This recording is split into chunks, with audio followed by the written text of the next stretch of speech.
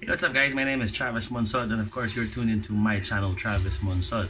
Now it's been a while since I have done my last video. It's been a couple of hectic, really really hectic and busy months. Uh, new machines, new ways of editing, new uh, workflows. I've actually revamped my whole studio, which you'll actually see in a bit. And right now, I actually wanted to make a video first um, explaining how I actually DJ with uh, Rekordbox. This is also a little how-to on how I set up my DJ rig uh, when it comes to how I DJ with Rekordbox. It's a, it's a very sunny day.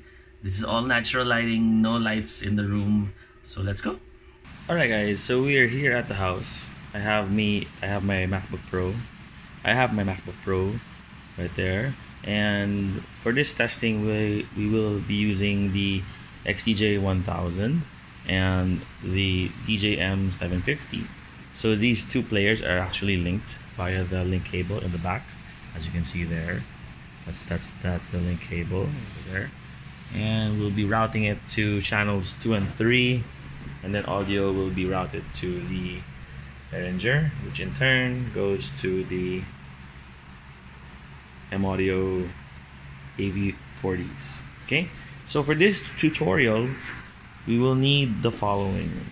Two USB cables for one for each player and another cable for the mixer. So a total of three USB cables. So this is how we will set up the HID mode when it comes to the Pioneer Rekordbox software. Okay guys. Cable setup is actually pretty easy okay so we have one cable here and that is the audio cable meaning this is going to the mixer. And then one and two the other two cables are actually hooked up to the left and right players and both of them are actually hooked up to a USB hub. Now why do I need a hub? My MacBook Pro only has two ports. So one port will be taken mm-hmm. by the audio. One port will be for the hub, which will be taking the MIDI signals from each players. So if your laptop has more than two USB ports, then you won't need a hub. But my laptop only has two. That's why I don't need a hub and I have all of these. Now, a lot of you may ask, why don't you just use all three in the hub? I actually, over time, prefer the audio signal to go straight from the USB to my laptop. I've come across some hubs that when you mix the audio signal and the MIDI signals, sometimes the hub cannot take it. That's why I would like only the MIDI signals to go through the hub, as the signal isn't as power hungry as an audio signal. Alright, so now we're firing up Rekordbox. Okay, while that's loading, again, this is for the mixer, and the two CD players go to this guy. Okay, so right there, now we are in performance mode. Alright, so before we check everything, I'd like to go to the preferences pane and see that the mixer is actually recognized.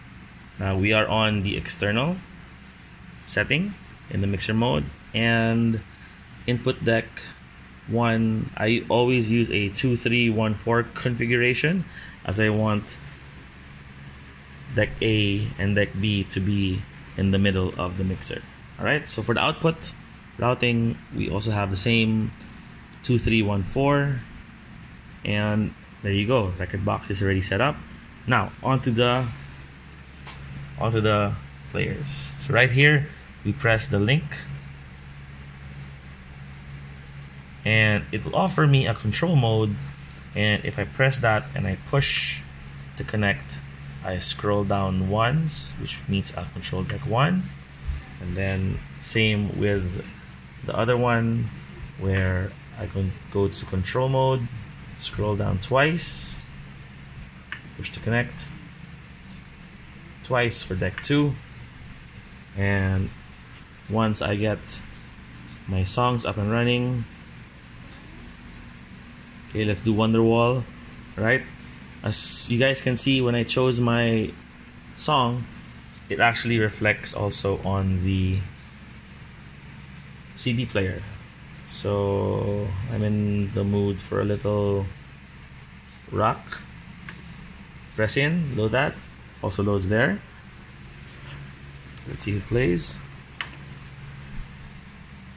Okay so it's playing right here. It's playing right there. Okay. Now we gotta see if the audio of course comes in. There is no signal coming in. That's because we forgot to put it in USB Are you scared? also when it comes to the setup you also get your hot No! there you go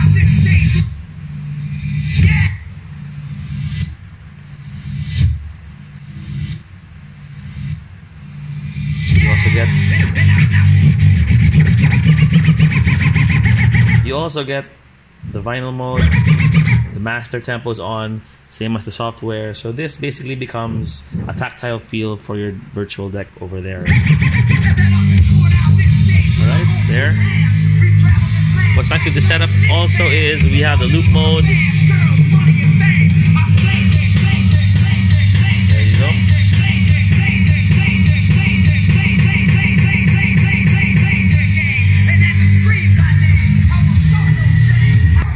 there you go that is the Rekordbox HID mode three USBs and one hub alright Alright, so that's my version for using HID mode on with Rekordbox on Pioneer Gear.